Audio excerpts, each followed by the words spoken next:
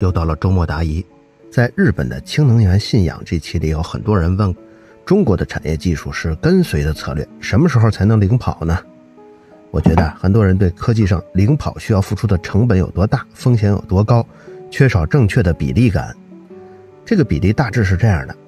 排名第二梯队的科技企业，沿着领头羊趟出的路追赶第一的时候，需要付出的成本如果是一的话，那一直领先需要付出的成本要超过一百。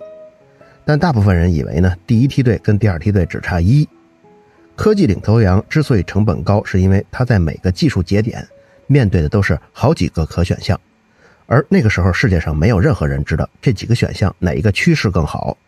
你说啊，有十五个专家都认为 A 方向好，马上就有另外一个人说还有二十五个比这几个更资深的专家都说 B 方向好呢。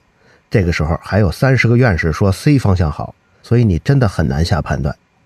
所以，通常情况，维持领先的方法就是啊，都去试，最后 n 减一个方向的尝试者都丢盔卸甲的回来，去效仿那一个成功者。而当前的领先者正是因为亏得起，才能继续保持领头羊的地位。所以，第二跟第三可能是真的相差一，但第一跟第二相差的那可不是一，而是一百。当领头羊呢，不一定是什么好事儿，能够紧跟住第一梯队，其实是最划算的。还有同学问。为什么氢能源现阶段不如锂电池跟太阳能电池？那为什么还有各种加氢站和氢燃料电池车呢？因为各国的能源转型都是汇总各路专家的结论制定的，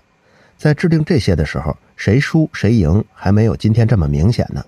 今天我们看到的现状是后来进展了好多年的结果，而且退一步说，就算是今天定制下一个十年的能源转型策略，理智的方式也依然是。留一小部分可能性给那些当前看起来生长的并不怎么强壮的路径，因为只要保留了一些火种，就有可能在那条路径某一天豁然开朗的时候切换过去。所以呢，不只是氢燃料电池方向，像潮汐能啊、生物质新能源呀这些还不如氢燃料电池的方向呢，也一样有补贴和产品存在。今天依然在做氢燃料电池的企业，尽管冒着更大的风险，也就是啊，补贴一停就不能自负盈亏了。但他们也一样拥有可能更高的收益。一旦那条路径上创新大幅降低了成本，他们就拥有了氢燃料电池市场的先发优势。还有同学问，我为什么说医学界最近几年倾向于把衰老当作是一种疾病呢？衰老不是任何一种生物都要经历的生命过程吗？这个依据是什么呢？依据啊是二零一八年六月公布的最新版的国际疾病分类第十一次修订中达成的这么一个定论。就是它是疾病，因为在这一版的疾病目录里增加了一个代号为 MG2A 的疾病名称，叫 Old Age，定义呢是不包含精神紊乱跟阿尔兹海默症在内的高龄或者老化，并且建议各国从2022年1月份开始采用此标准。如果一种观点是通过发表论文来表达的，那么这个观点大都要归于某个人或者某个研究团队的看法。如果这篇论文发表在像《自然》啊、《科学》啊或者《细胞》啊这样的著名期刊上，甚至呢是被颁发了诺贝尔奖，那就可以说这个观点初步获得了一部分学者的认可。比这个认可程度还要深的就是各种标准跟国际通用的手册了。认可度再高的那就是教科书了。但随着认可度的增加，也就意味着观点成熟度的增加，或者呢可以说是有过时的风险。对于衰老来说，把它看成是一种疾病，从科学角度的分歧并不算太大，因为疾病的定义通常就是在某些可测的指标上，某个人实测的值在两个标准差之外，那么这个人在这项指标上就算是异常，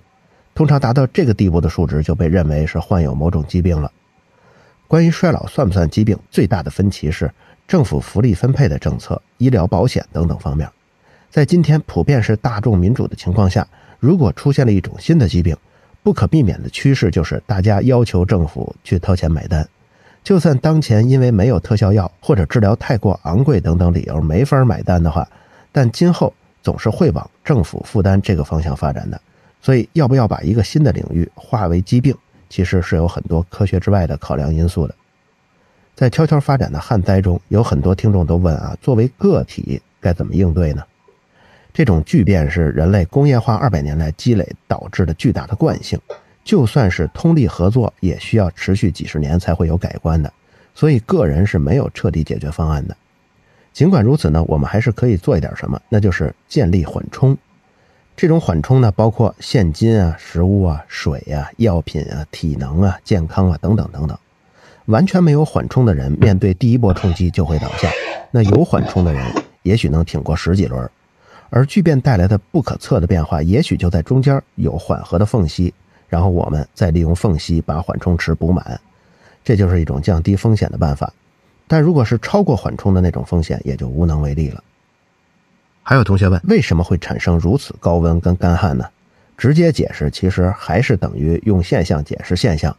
什么现象解释现象呢？大致逻辑就是北大西洋暖流的升温导致北极的升温，而以往的季风最大动力是靠北极跟赤道间巨大的温差来推动的。现在北极温度升高了，温差变小了，推动力就小了。年年到来的季风今年就变得极其微弱了，在欧洲的热浪持续的时间就会更久。对中国呢也是类似的逻辑，比如说副热带高压长期盘踞在长江流域，造成了高温跟干旱。